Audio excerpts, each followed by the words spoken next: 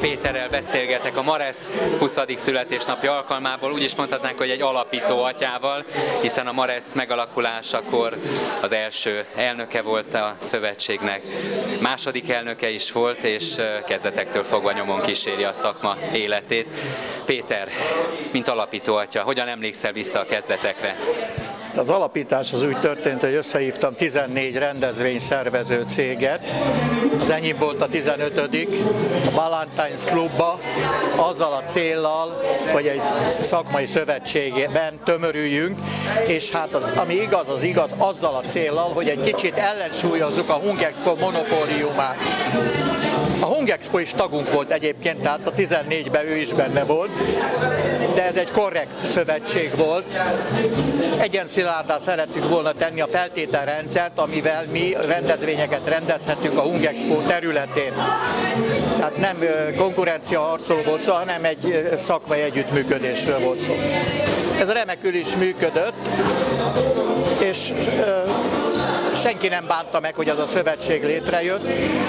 Hogy az elmúlt 20 év alatt mi történt, az egy egészen más kérdés, mert ma már a, a Maresz tagságának mondjuk a 10%-a legfeljebb a rendezvény szervező cég.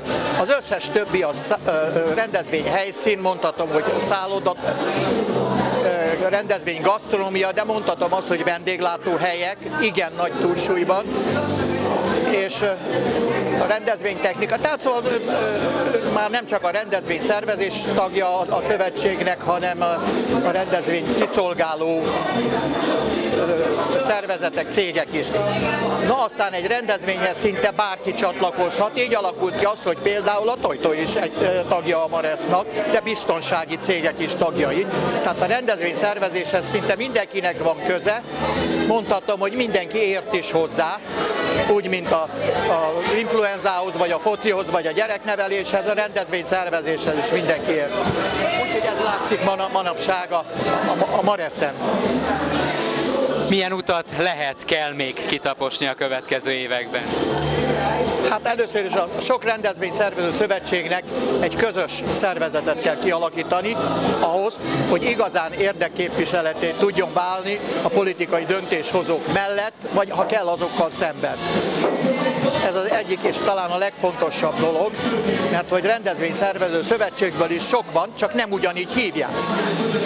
És hát azon kívül az, a szakma etikájával sokkal többet kellene foglalkozni, egy közös etikai kódexet kellene kialakítani, aminek az egyik lehetséges megoldása lehetne egy kamararendszer, a rendezvényszervező kamara, de hát ezt már én csak sugni tudom és javasolni fogom, ez már a mostani profi szakembereknek és szakértőknek a dolga mint alapító atyának is sok egészséget kívánunk az Esemény TV nézői nevében is, és happy birthday még egyszer, boldog születésnapot a Maresznek.